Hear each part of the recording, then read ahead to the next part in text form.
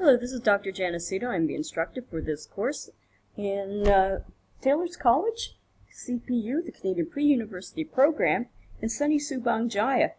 This media arts course, uh, we're going to be covering in this uh, video uh, principles of design. And uh, I think you'll find it very helpful as uh, you create your own media arts. So when we talk about the principles of design, it's how you can most effectively use the elements of the artwork in order to create a message that will um, impact your audience and that they'll understand what it is that um, this um, piece of um, art is trying to convey to them. So you want to have some sort of clarity. And, and here in Malaysia, we have quite a history of working with elements of design. And this little beautiful piece of batik done by this woman. And uh, once we finish this first video, there'll be two videos. Uh, the first one will cover uh, the elements of design, and then the second one will look at the principles of design as it applies to the um, motion picture industry. So anyways, let's go back to uh, what are those elements of design. Well, you start with color, and uh, we also want to make sure we've got shape and texture as well.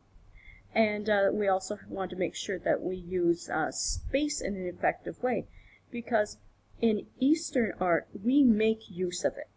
Whereas Western art, when they see uh, a blank, they think of it as empty.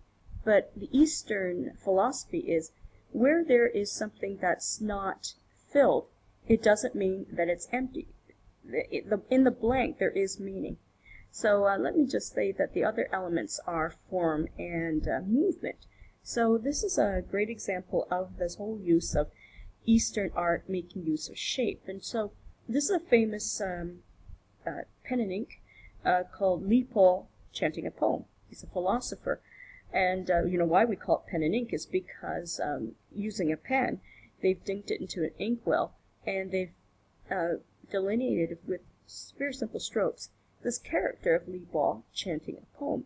The rest of uh, the space is not touched, but it does have meaning. So whereas in Western art, they'd start filling up with, I know, plants, you know, background, clouds, who knows, maybe a musical instrument.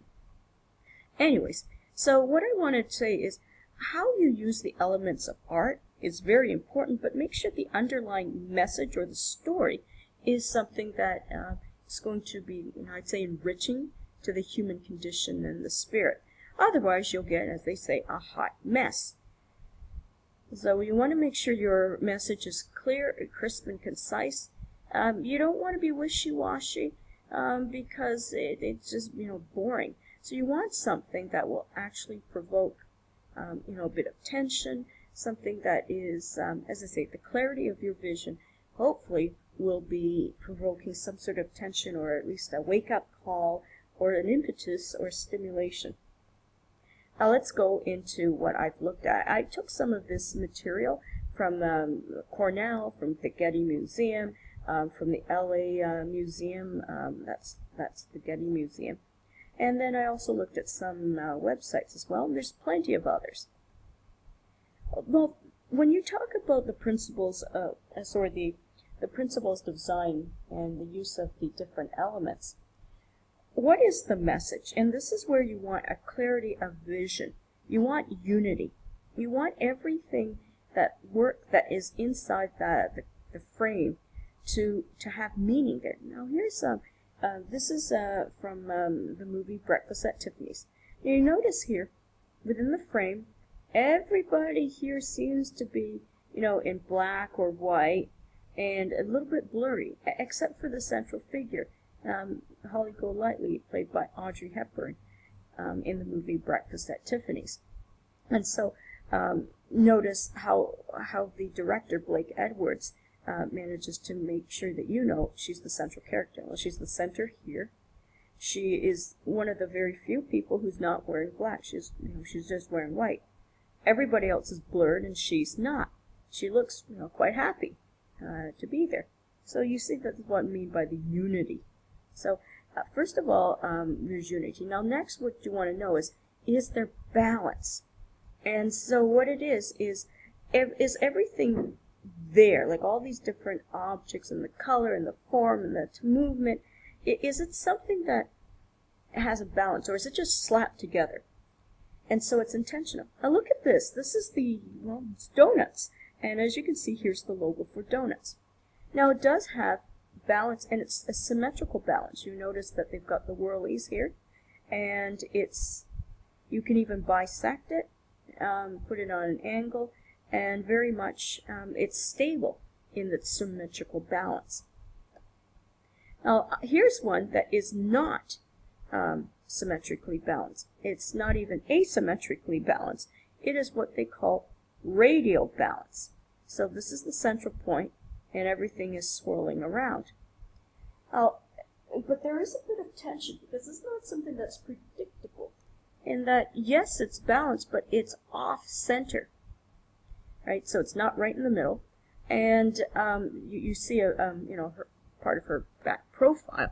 So there's something about this image, although it's radially balanced, there's something that's a little bit, as I say, off.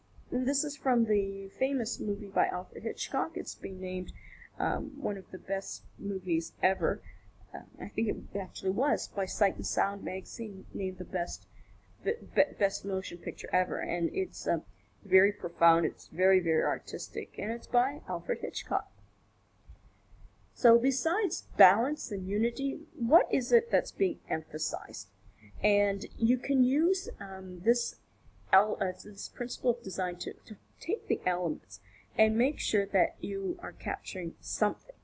So here's a here it is. It's a, it's a street scene, and uh, you can tell in the background it looks like a port. Um, and so these are the, the different streets, and you can see all the hustle and bustle leading towards the, the focus on um, the, the port. Um, it's a night scene, obviously. I guess it's the moon in the background, and you've got lights. But what is it that's emphasized here? It's this, because it's red. All these others are rather muted, neutral colors. This one's red. And besides being red, you see you know, faded yellow, and it's Chinese. So, this tells you a little bit about what the port is. It could be a Chinese port, it could be a port, um, say Singapore, um, so or a port anywhere where there's a lot of people of Chinese background. So you could see that um, using subtlety of color, um, that you can you, you your the director is um, highlighting and prioritizing this image. So uh, unity, balance, emphasis, and now movement. Uh, so looking at the, I'm going to be showing you an image of where you see the director wanting to draw your eye. And this is from a, a famous movie um, which uses, I think, yellows and then reds and black uh, in order to um, uh, direct your eye. And so there it is. This is from Francis Ford Coppola's Apocalypse Now, another very, very profound moment in film history. So um, they're they're going in that direction. So you've got baby bear, mama bear, papa bear, and I guess grandfather bear, all heading this way. And it looks like they've got um, it's almost like birds in the background, but it's not. It's other um, attack helicopters. So I'm not going to tell you too much more about the movie Apocalypse Now, except it's something you really, really should see. It's a longish movie. Um, and you really don't want to be interrupted. So do yourself a favor and make sure that your iPhones and your other beepers are turned off so you can enjoy this incredible experience of Apocalypse Now. Now, the pattern is very important as well.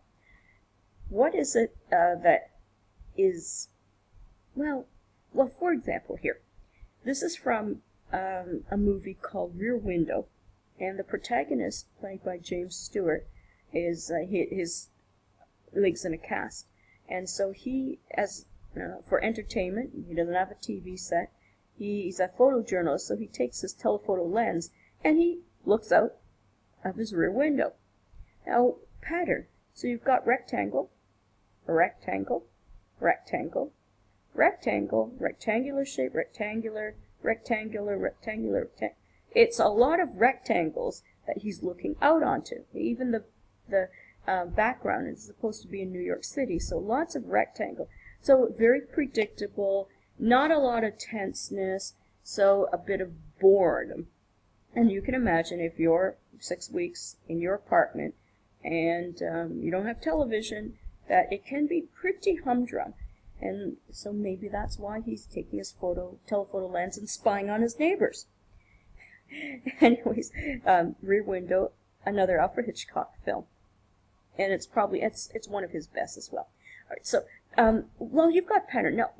pattern can repeat, and then um, when you have a rep rep repeating pattern, it doesn't have to be boring. Sometimes it can be actually quite stimulating.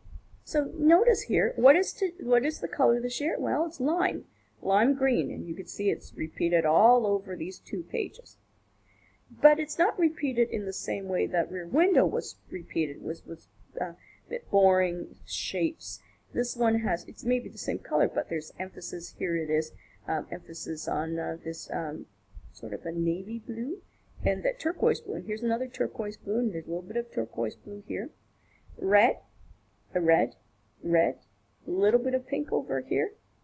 Lots of white in the background as well. And um, the perspective is shifted because we know a closets um, are are really that size, and whereas the baby um, baby toy is not that size. I mean, it would be a very scary big baby if that were the case. So playing around with perspective and proportion also um, helps uh, you to see that although it is green, it's not it's not boring to be an IKEA with this season's color. Uh, oh, I, did I say proportion? Well, here's proportion. So how do the things relate to each other? So you look at a standard picture, and you look somebody somebody is in front, somebody's you know just beside them. You you can sort of calibrate how, how tall each person is.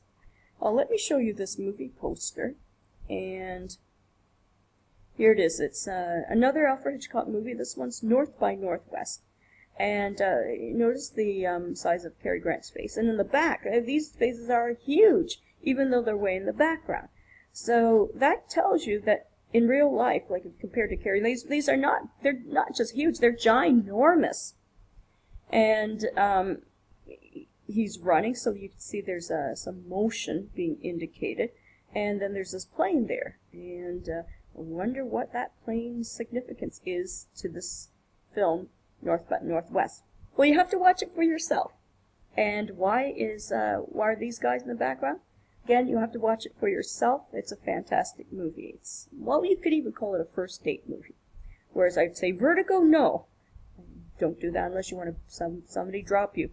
Uh, anyway, so rhythm is uh, basically how the the elements of design are used together to create some sort of a pattern or tenseness. So I'll just show you this. And this is from another Oscar-winning movie called Sunset Boulevard. Now here's the rhythm in that you've got them sitting, it's almost like a houndstooth um, pattern uh, sofa.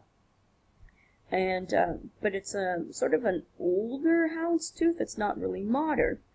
And so you already got a sense of, you know, there's a bit of you know, mustiness or something that's antiquish about this.